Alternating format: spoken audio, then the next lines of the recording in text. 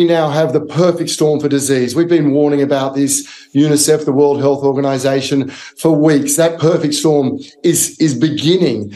Uh, and that is because this massive influx of people with no, absolutely nowhere to go. So the real risk now, the horrendous numbers of thousands and thousands of children killed, continually being killed as you and I speak, risks being matched by deaths from disease. That's what we get when they're pushed to these zones that are anything other than safe.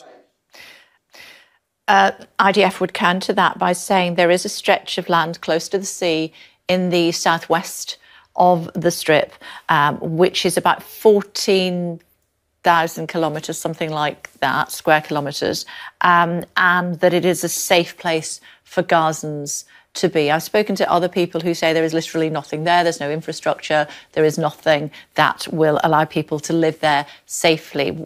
Do you know this area? What can you tell us about it? I do. It's called Al Mawasi. It's exactly 1K by 14, so 14 square kilometres. It makes up about 4% of Gaza, Gaza being one of the most densely populated places on the planet. So it's about 4% of Gaza, and it would require 80% of the population to be there. If you imagine a car park of people stacked on top of each other, still without a toilet, still without a drop of water. So here you would absolutely have have zones that are zones of disease and would become in any sane projection zones of death.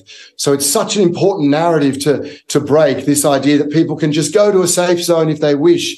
There is absolutely nothing safe about this, and I think, hey, to be honest, those those people making these decisions and telling people to go there, they're aware of that this is calculated. It, it's cold, uh, and it speaks to the indiscriminate nature and the, the the, the lack of any sense of any sense of decency that has been uh, enacted on relentless attacks on mums and kids and families.